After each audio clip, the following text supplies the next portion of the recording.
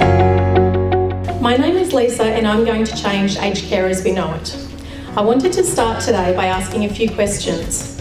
Who here in this room has an elderly parent or grandparent over the age of 65? Do they struggle with doing things around the house?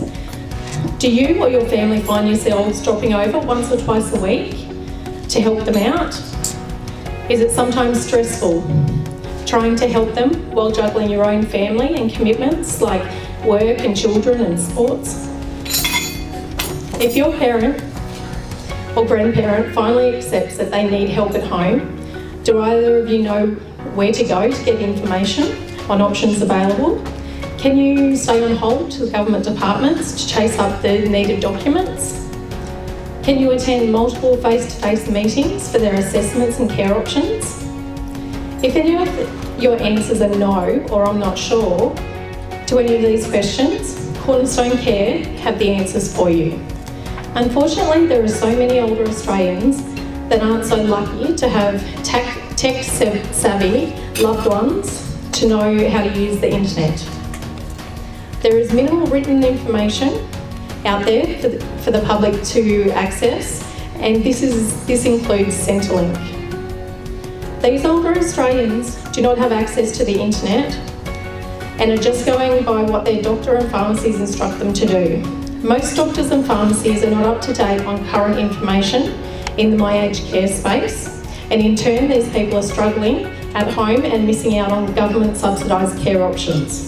This is exactly why I started Cornerstone Care to help people navigate the aged care system and also educate GPs, health practitioners, pharmacies, allied health professionals and government, uh, com sorry, community groups on the steps involved to start the, the My Aged Care process. This photo here is of Margaret. She doesn't have any family in Canberra or help to help her organise services for her. Margaret relies solely on her elderly next door neighbour. Her neighbour feels totally responsible for Margaret to the point that they won't even go away on holidays because they don't want to leave Margaret alone. This is unfortunately a true story. Today, Cornerstone Care have booked in presentations with our local GP, Carers ACT, and are currently in talks with the Canberra Hospital to deliver short, detailed presentations, design and print step-by-step -step pamphlets, and provide follow-up assistance where needed. Currently in Australia, there is a 6 to 12 month wait to get home care packages put in place.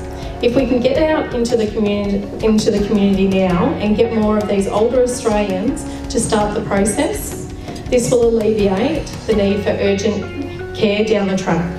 So today, Cornerstone Care is after two things. The first is sponsorship to fund these education presentations and printed material to deliver throughout the ACT and surrounding areas.